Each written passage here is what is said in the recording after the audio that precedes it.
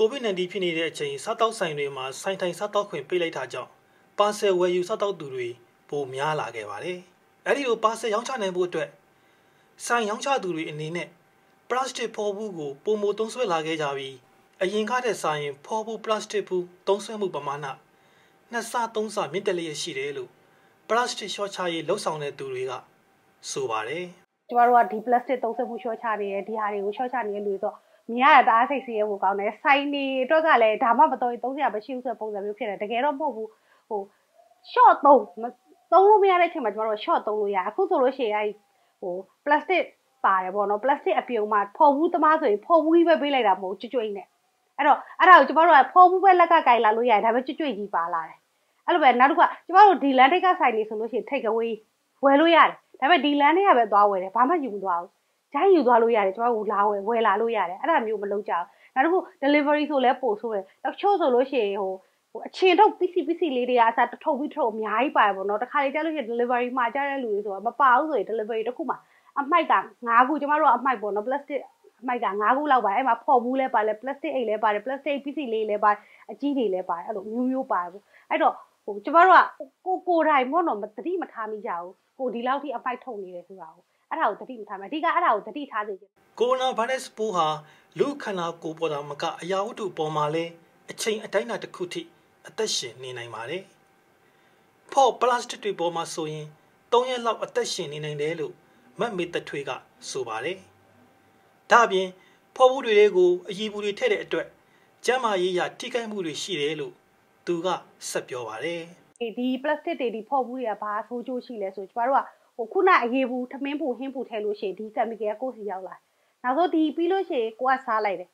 နောက်တစ်ခုဒီအမိုက်ကိုကျမတို့ကတော့ဆုတ်ပစ်လိုက်တယ်ဒါပေမဲ့မိုးရွာတဲ့ခါမှာမိုးရေတယ်ရောက်သွားတယ်ဟိုထားပါတော့အမိုက်ပုံမှာပဲပြပြပြနေရာမှာပဲပြမိုးရွာလို့ရေနားနီးနေတယ်ဆိုရင်အဲ့အမိုက်ပုံမှာရှိတဲ့အမိုက်ကရေထဲရောက်သွားတယ်ပြီးတော့ရေကနေကျမတို့ဘယ်ထဲရောက်လဲပင်လယ်ထဲထိရောက်သွားတယ်အဲ့ခါမှာဘာဖြစ်လဲဆိုလို့ရှိရင်အဲ့ပင်လယ်ထဲကိုရောက်လို့ရှိရင်ကျမတို့စားရဲ့အငံတက်ရဲ့နေရောင်ကြီးရဲ့ခရမ်းလွန်ရောင်ကြီးရဲ့ရေရဲ့တိတ်ကြီးစားရဲ့ပေါက်လို့ရှိတော့ microplastic ပြန်ဖြစ်လာ ပြီးအဲ့ microplastic ကအခုကျမတို့တောက်တဲ့ရေထဲကိုရောက်လာတယ်ကျမတို့စားထားတဲ့ဟို seafood တွေထဲကိုရောက်လာအဲ့လိုအနေနဲ့ကျမတို့ကပြန်စားတာချို့ဆိုရေတန့်ဘူးတွေဝယ်တောက်လေးရှိရပေါ့နော်အဲ့ရေတန့်ဘူးတွေဆိုလို့ရှိရင်ကျမတို့ကစိုက်ဝါထွက်တာတော့အတန်ပဲဒါပေမဲ့တဲလာတဲ့ခါမှာပီးတွေက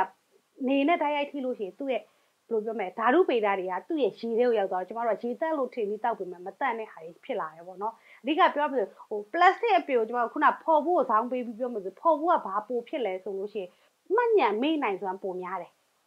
နောက်တစ်ခုကကြတော့သူ့ကိုမီရှိုးလို့ထွက်လာတဲ့အနံ့ကိုရှူမိလို့ရှိရင်ကျမတို့ကတရေအောင်နိုင်ခြင်းနေတယ်အဲ့ဒီအဲ့ဒီဟာတွေပါကျမတို့က effort ရှိတယ်ပေါ့ဟုတ်ပလတ်စတစ်ဖော်ဘူးတွေကိုတွင်းတွင်းကြဲကြဲအသုံးပြုမှုများလာတာကြောင့်လူတွေအတွက်ကျန်းမာရေးထိခိုက်မှုတွေရှိလာသလိုပဝန်းကျင်ညဉ့်ညမ်းတာတွေရေမြောင်းပိတ်ဆို့တာတွေဖြစ်လာမှာကိုစိုးရိမ်နေတယ်လို့ဖော်ဘူးတွေကိုမနစ်သက်တဲ့တာမွေမြို့နယ်မြစ်တာညွန့်ရောက်ကမှနေတဲ့ကိုရဲကအခုလိုပြောပါတယ် ကျွန်တော်တို့ကြတော့ဒီကျွေးပွားနဲ့တောက်ရတဲ့အရာတော့ကျွန်တော်ပို့ပြီးတော့ဟိုကြိုက်တယ်သဘောကျတယ်ကျွန်တော်ပေါ်ဘူးလို့ပါလို့တော့ကျွန်တော်တော့မနစ်သက်ဘူးခုပါစစ်စနစ်ဆိုတော့ဘယ်ရဘယ်နေရာကိုပဲတော်တော်ဒီဟာအနည်းဆုံးကတော့ပလတ်စတစ်ကပါသွားတယ်ပလတ်စတစ်နဲ့ရေတံဘူးကတော့ပါသွားတယ်ကျွန်တော်မိုးရင်းတာဒီဆိုင်ရမယ်အဲညောင်းနေပိတ်ရေကြီးမယ်ပြောရလို့ရှိရင်ကျွန်တော်ပြောတာအစိုးရစီပင်တွေအလုပ်တွေချုပ်ပြရမယ် အဲနောက်ွယ်မှာဘာဖြစ်လာမလဲယောဂတွေဝင်လာအွန်လိုင်းကတဆင့်ရောင်းချပြီးအိမ်နေရာရောက်အစားအသောက်တွေကိုပို့ဆောင်ပေးနေတဲ့လုပ်ငန်းကိုလောက်ကင်သူတွေလည်းဖော်ဘူးတွေကိုအများဆုံးအသုံးပြုလျက်ရှိနေပါတယ်။အရင်ကဖော်ဘူးတွေသာအသုံးပြုခဲ့ပေမဲ့စားသုံးသူတွေရဲ့ကျန်းမာရေးကိုအလေးထားကစက်ကူဘူးတွေကိုပြောင်းလဲအသုံးပြုနေတယ်လို့အွန်လိုင်းအစားအသောက်ရောင်းချပို့ဆောင်ပေးနေတဲ့မက်ခင်မာလွင်ကအခုလိုပြောပါတယ်။အမ လုံငယ်နေအမ idea တခုရပါတယ်။ဘာလဲဆိုတော့ကျန်းမာရေးကိုလည်းထည့်ပြီးတော့စဉ်းစားရမယ်ဆိုတော့အရာလေရေရှည်ဆိုရင်ကျမရေးအတွက်ကိုပို့ပို့ပြီးတော့လှုပ်လှုပ်တဲ့အခါမှာထည့်ပြီးတော့စဉ်းစားဖို့လိုတယ်ဆိုပြီးတော့အမအခု packaging ကိုပြောင်းလိုက်တယ်ပုံစံလေးကိုတော့လေ paper နဲ့သွားတဲ့ဒီစက်ကူဘူးလေးတွေကိုအမပြောင်းပြီးတော့သုံးလိုက်တယ်ပေါ့နော်ဖောဘူးတွေဟာအမျိုးအစားပေါ်မူတည်ပြီးတဘူးကို30ကျပ်ကနေ90ကျပ်အထိရှိပါတယ် စက်ကူဘူးတဘူးကိုတော့150ကျပ်ဝန်းကျင်ရှိတယ်လို့ဝယ်ယူသုံးစွဲနေသူတွေကပြောပါတယ်။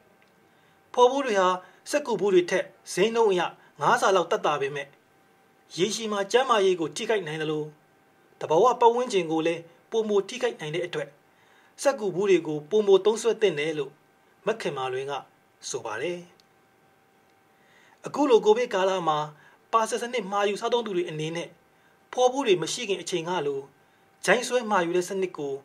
ပြန်လဲကျင့်သုံးသင့်တယ်လို့ပလတ်စတစ်ရှော့ချရေးလှုပ်ဆောင်နေသူတွေကပြောပါတယ်ဂျိုင်းစနစ်ပေါ့နော်အရင်တော့ကလည်းအဲ့လိုဟိုဂျိုင်းဆွဲစနစ်တွေရှိနေကြတာပဲအဲ့ဒီစနစ်လေးကိုသူပြန်ပြီးကျင့်သုံးရင်တော့ပိုကောင်းတယ်အဓိကတော့အလုပ်လေးနည်းနည်းတော့ပိုရှုပ်တယ်ကျန်းမာရေးအတွက်လည်းကောင်းတယ်ပတ်ဝန်းကျင်အတွက်လည်းပိုကောင်းတယ်ပလတ်စတစ်ဖော်ဘူးတွေဟာဆွေးမြေ့ပျက်စီးဖို့ဆိုရင်နှစ်900မှနှစ်1000အထိအချိန်ကြာမြင့်တယ်လို့ကျန်းမာရေးအဖွဲ့အစည်းတွေတဘာဝပတ်ဝန်းကျင်အရေးလှုပ်ဆောင်နေတဲ့အဖွဲ့အစည်းတွေရဲ့ထုတ်ပြန်ချက်တွေအရ